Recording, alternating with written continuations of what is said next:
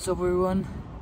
I'm back and today we're uh, we're going to do some uh, of more more of uh, our favorite things 3D skills. Okay, let's go. So the first 3D skill I want to show you is uh, it's a bit similar to uh, the first video I ever made, but this is the first one. And at the last one I will give you a special tip, so make sure you stay around to the very end. First one is what I showed you in the my first video was you pull it to the left and you lift to the other side. Now you will step out with right, you pull it to the left and you step out hopefully the defender's stick will be like this flat on the ground. So when you do it, you left, right, and oh, it's not very clear, sorry. So right, step out, left, and then you lift. So again, right, left, lift. All right. That was the first one. I'll show you a bit faster. You do this. And you've lifted it over the defender stick. And now you can continue your run.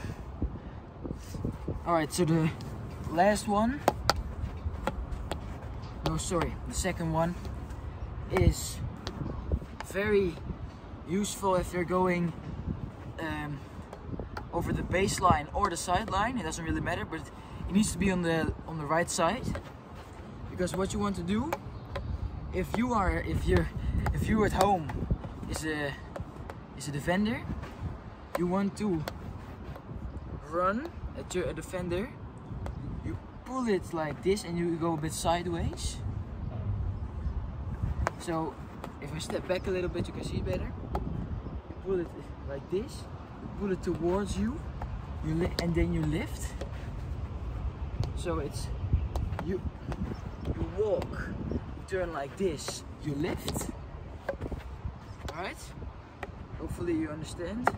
So normally you will dribble like this, but now you dribble a bit like like this with your butt to this the with your uh, butt to the sideline or the baseline. You pull it towards you and then you lift.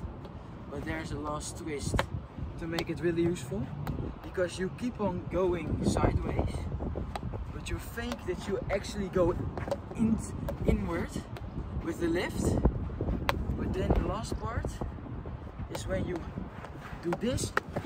So you don't you need to make a, make sure it's not going too high otherwise it will be dangerous play. But you pull it towards you and you tap it through the defender's legs. So when you lift, you hope that the defender steps out with his foot like this. And then the ball will go through his feet. And then you can continue run. It looks really cool if it works. So at full speed it would be like this. So again, if I show you with the cones,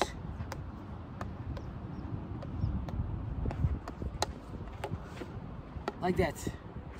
So try that and go. Let's go to the next one. So uh, the last one, this one is really tricky to do because it's pretty difficult. Even I can't do it all the time, but it's really fun to do if you uh, if you want to completely uh, leave your defender uh, lost.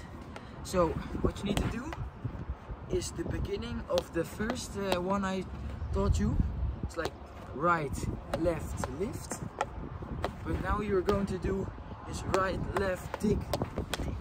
So you're adding an extra touch in the air.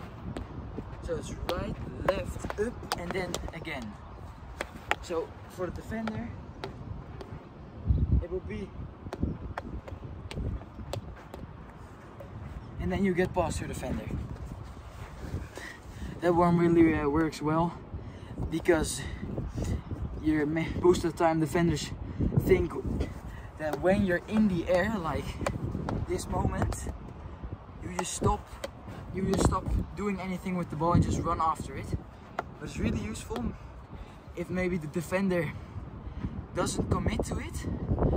So if after the first lift the defender doesn't commit to the to the trick you use, you can just do that and then you can cut inside.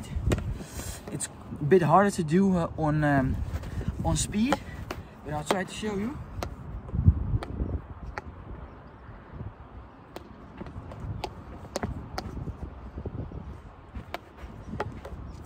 So that was the last trick. So the last tip I want to give you is when you do the 3D skills, especially for example this one, make sure you actually um, how do you say it? Sorry, you make an uh, you create an angle for yourself because when you when you're running with the ball and you now try to lift it, it becomes really hard to lift the ball. But as I taught you in the three the the three 3D skills I taught you now, you can create an angle like this. You pull it to the side, and then it's easier to lift because it rolls up your stick. So, I hope you found that useful. Try them and uh, let me know in the comments if you've uh, if you've eliminated an, a defender with it. And I'll see you in the next video. Bye bye.